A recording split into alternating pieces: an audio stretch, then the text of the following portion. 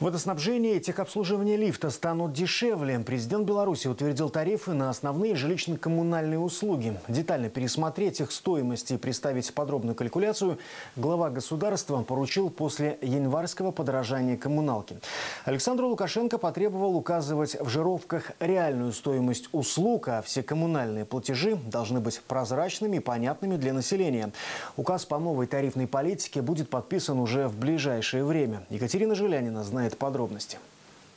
Тарифы на услуги ЖКХ отныне в одном документе, а жировки обновят свой вид. Прозрачная система начисления. С помощью простейших математических действий теперь каждый сможет просчитать, сколько и за что платит. Новые квитанции на оплату мы получим уже по итогам февраля. Правда, коммунальщики предупреждают, из-за перерасчетов жировки в этом месяце запоздают, но время на оплату продлят до начала следующего месяца, без начисления пени. Пересмотреть тарифы на услуги ЖКХ президент поручил в конце февраля. Рабочая группа тщательно изучала, просчитывала и даже инициировала уголовные дела. Их более полутора десятка. Чтобы к весне положить на стол главы государства реальные тарифы, специалисты с секундомером и калькулятором в руках прошли всю ценообразующую цепочку, буквально от скважины и до квартиры потребителя. Сегодня о результатах доложили главе государства. Да, резервы для понижения ценника есть, но главное требование – установить тарифы на объективном уровне, а в жировке каждая графа должна быть проста и понятна.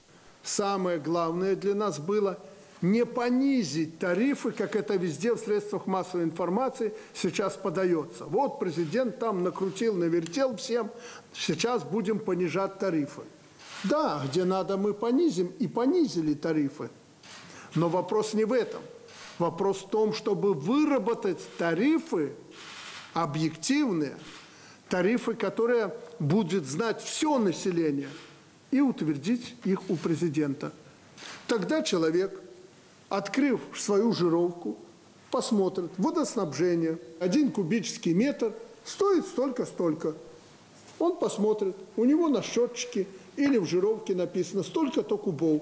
Цена одного куба вот такая, как на счетчике э, по электроэнергии. Посмотрел на счетчик, умножил на цену, получил результат. Так и здесь все должно быть. А не так, человеку приносят эту ведомость жировку, как в народе ее называют. Он посмотрел, какая там цена. Да и там эта жировка, черт ноги сломает, не каждый экономист разберется. То есть надо сделать так, чтобы люди видели цену услуги, объем у них есть. Если хотят точно, значит должны стоять счетчики на воду, на газ – на тепло. Все счетчики сейчас есть. Нет счетчиков, другая методика, но цена этого, этой услуги, тариф должен быть реальным.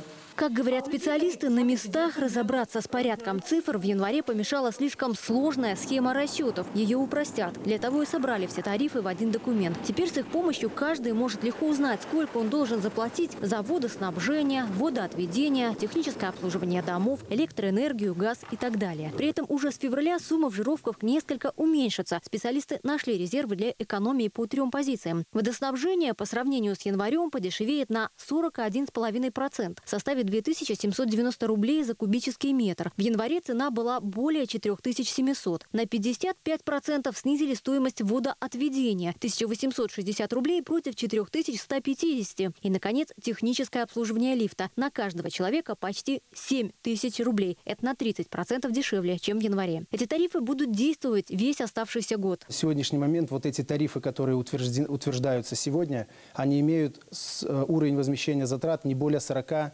0,4% от реальной стоимости услуг. При этом поставлена задача перед организациями как системы Министерства жилищно-коммунального хозяйства, так и перед организациями системы Министерства энергетики о безусловном снижении затрат и обеспечить уровень поднятие уровня возмещения затрат до конца этого года до 50%, не менее 50%.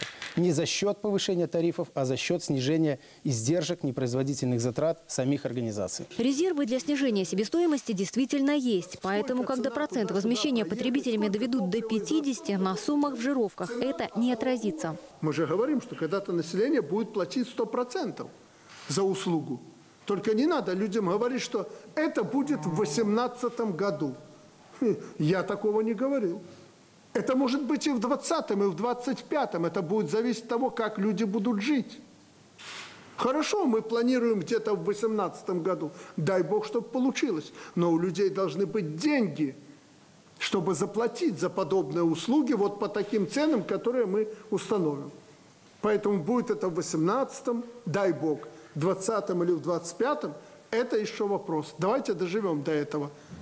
Пока мы вот сегодня должны установить цену на услуги, объем услуг понятен, пусть население рассчитывают сами, умножают и так далее. Потом я хотел бы сегодня услышать, как выполнено мое поручение по наказанию тех, кто занимался приписками, кто химичил на этом, кто обижал людей и кто воровал деньги из бюджета таким образом. Я вам поручал возбудить уголовные дела и наказать. В стране неприкасаемых нет. Каждый должен отвечать за свое.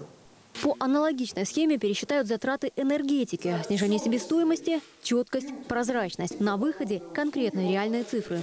Дорого, дешево – это вопрос такой, знаете, философский. Но люди должны видеть реально эту цену, утвержденную президентом.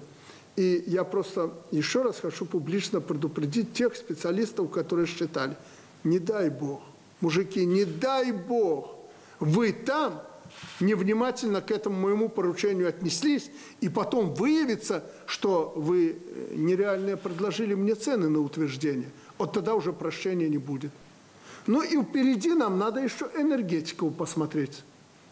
Потому что министр мое поручение не выполнил, он быстро сел в кресло и стал обычным ведомственным чиновником. Ну, это мы с ним разберемся в ходе рассмотрения э, цены услуг по энергетике. По газу там проще посчитать. По энергетике э, мы разберемся. Слишком уж шикарно энергетики себя ведут в стране, живут, а все это идет в затраты, а потом ложится на промышленность и на людей.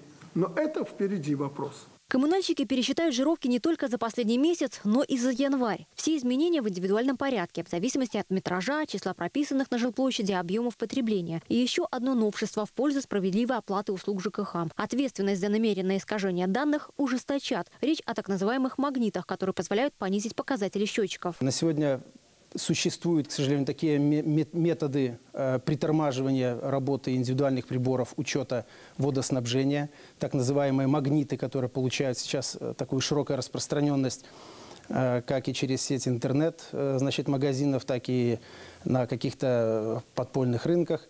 Поэтому поручено ужесточить ответственность тех граждан, которые будут уличены в том, что они скрывают реальные показания приборов учета. Кроме того, правительство продолжает работу еще над одним документом. Речь о жилищных субсидиях. Тем, у кого коммунальные платежи превышают определенный процент от семейного дохода, планируют возмещать сумму этого превышения. Предполагаемый порог для городских жителей 20%, для сельчан 15%. Екатерина Жилянина, Алексей Юнош, Валерий Науменко, телекомпания СТВ.